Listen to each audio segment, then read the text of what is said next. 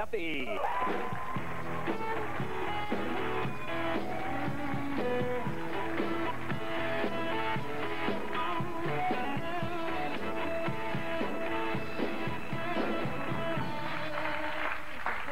You know, I think I figured out why Dwight stopped by.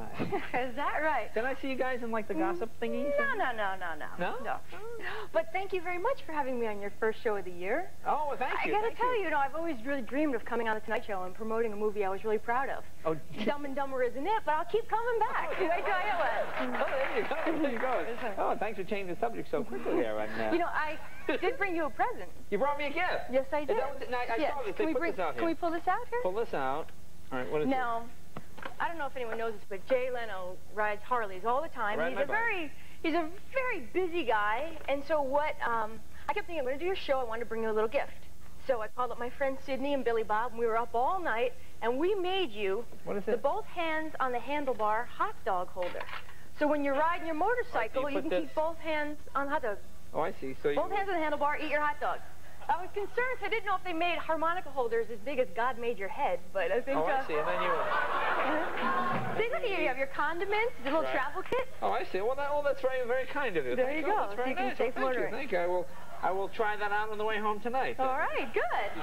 Take it's keeping the hot dog warm. You're still working on that part. Yeah. Yeah, we haven't perfected that. nice, Now, I also heard that Luciano Pavarotti was going to be on the show. Yeah, I'm so a did I. huge fan. Right, we all did, right? So I made him, I'm figuring, one of the world's greatest tenors. Is this for him? He's got to keep his mind on his music, but to keep that bulk, he's got to eat. So we made him, Billy Bob and Sydney, made him a corn dog necklace.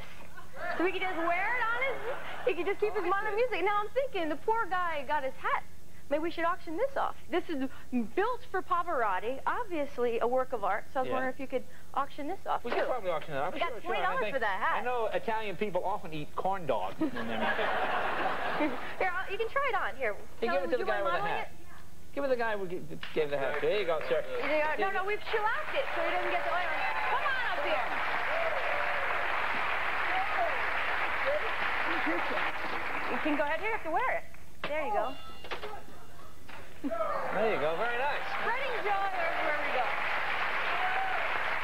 So, did you have a nice holiday? I had a great holiday. A really nice Yeah, New yeah. Year. Yeah. Did really you good. cook or do you don't? Do, no, are you? Well, I cooked a turkey yesterday, and it was my first turkey, and I was kind of concerned because my mom always, you know, she's always freaking out about cooking the turkey. But I just put it in the oven. You don't fiddle with it. There you go. Don't Tur- fiddle. Just put it in the oven. Put it in the oven, come out, of it, it was perfect.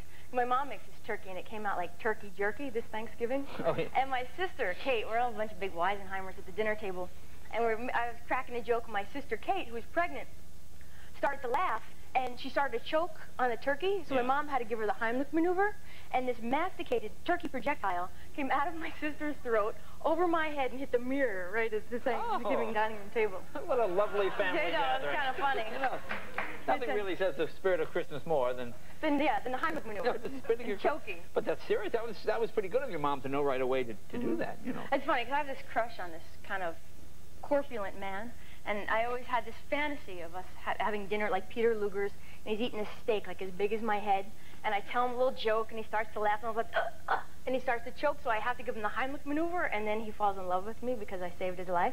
So like this fantasy progresses where I take him to like Howard Johnson because I've never met anybody who has eaten a clam roll without choking.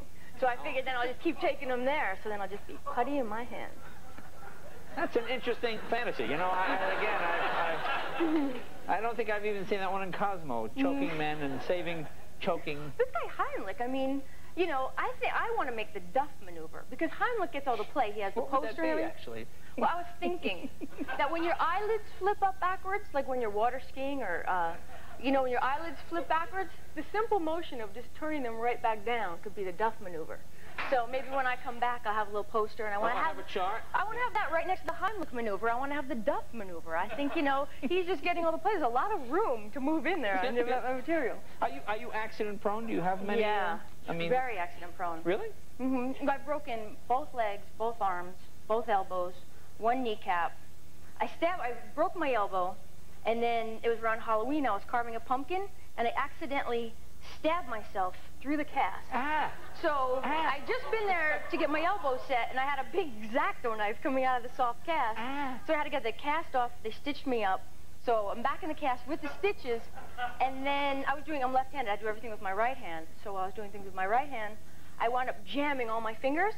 So my two arms were like James Caan's feet in misery. I couldn't do anything. Oh, so I had to like get on the phone. I live by myself, dial the phone with my tongue. And I don't know, I don't know what to do. I That, move. that sounds to me like a maneuver. Yeah. That's a good idea. Well done.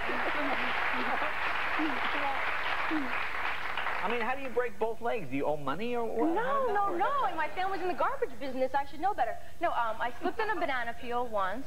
Slipped on a of- banana. You know something? That's something I've seen in movies. I've never actually heard of anyone in I life. slipped on two banana peels. Once at the Feast of San Gennaro. I didn't break anything. San Gennaro, you I'm over. I slipped in a banana peel, hit my head in the curb, knocked myself unconscious. I woke up at the feast. um, Where the heck am I? I mean, it was it was really scary. And the second time, I uh, I just broke one of my kneecaps. But it's been really tough. And then, like when I do a movie, like weird things happen. Like I was I was working on a film, and I was sitting in the makeup chair, and someone went over to give me a kiss, and it was like one of those Hollywood air kisses, and they Oh, just went in. it went right into my eardrum, ruptured my tympanic membrane. He kept saying, how are you doing? I'm like, better. You better get me a new tympanic membrane. I couldn't hear. I lost all my hearing, had negative pressure in my ear. And then my dentist filed my teeth too sharp. I could gnaw through solid steel. I Really? Because I used... Actually, actually, we're out of time. We're out of time. Well, more right after this. Be right back. Right in. No, through solid steel. Yeah, they were too sharp.